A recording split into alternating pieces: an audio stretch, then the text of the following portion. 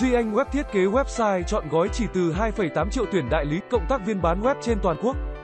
Hotline 18006223 hoặc 0925099999, website duyanhweb.com.vn. Interface là gì? Nói một cách dễ hiểu nhất, interface là một phần trong Java, nó là bản thiết kế giúp cho người sử dụng khắc phục được tình trạng không thể đa thừa kế. Interface chỉ có các phương thức rất trừu tượng và khó hiểu.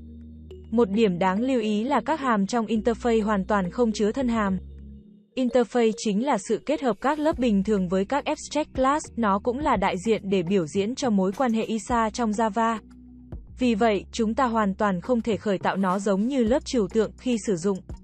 Các bạn nên ghi nhớ rằng một interface trong Java chính là tập hợp của các abstract class hay còn gọi là phương thức trừu tượng.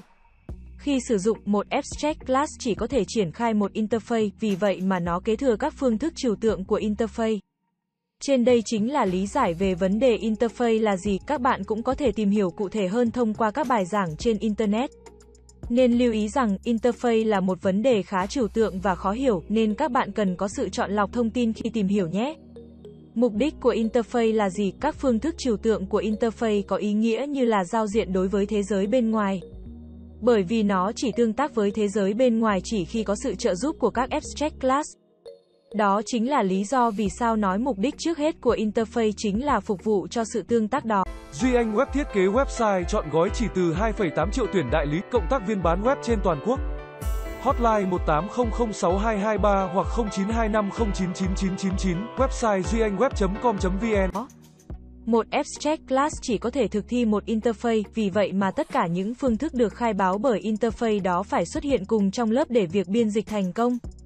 Mục đích thứ ba phải kể đến của interface đó chính là sự thừa kế.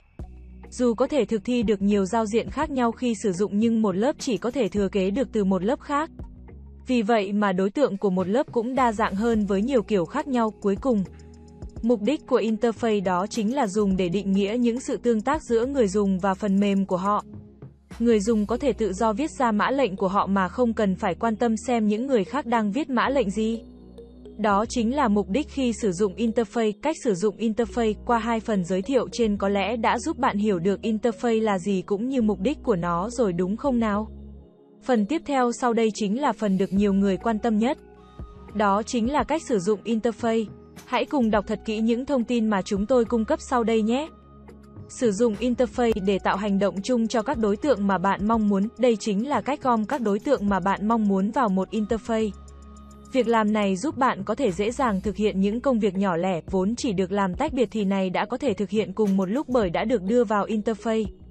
Đối với mỗi đối tượng, bạn có thể liệt kê thành mỗi abstract class, như vậy những hành động đó sẽ được sắp xếp và hành động dễ dàng hơn nhờ được lập trình trên một interface. Duy Anh Web thiết kế website chọn gói chỉ từ 2,8 triệu tuyển đại lý, cộng tác viên bán web trên toàn quốc.